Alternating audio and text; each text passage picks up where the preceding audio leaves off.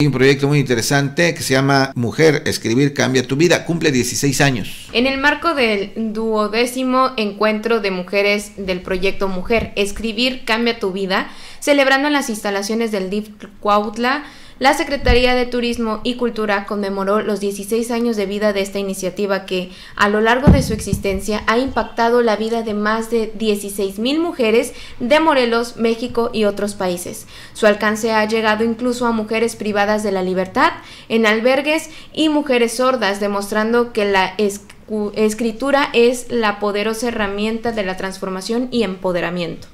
Correcto, qué interesante, Astrid, este programa que se inició, recuerdo, cuando se invitaba a los talleres y eso, y la verdad es que sí le ha servido a las mujeres.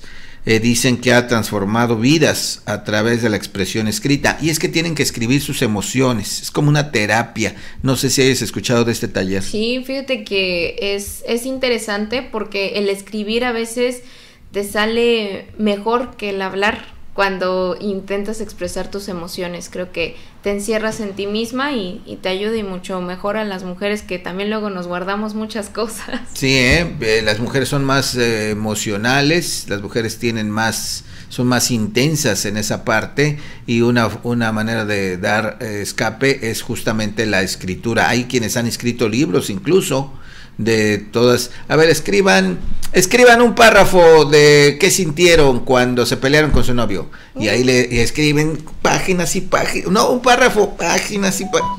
Ahí está, un libro de 500 páginas. Es que tienen a flor de piel el sentimiento de las mujeres. Así es que cuando usted escuche este taller, si es mujer, vaya, ampliamente recomendado para las mujeres, para, dicen que su empoderamiento para lo que sea. Por lo pronto le va a servir como terapia, como escape, como salida. ¿Qué? Es algo catártico. Es catártico, sí, sí, sí. Así es que cumple 16 años con buena salud. Ahí están los cuatro pastelotes, no, tres pasteles. Tres.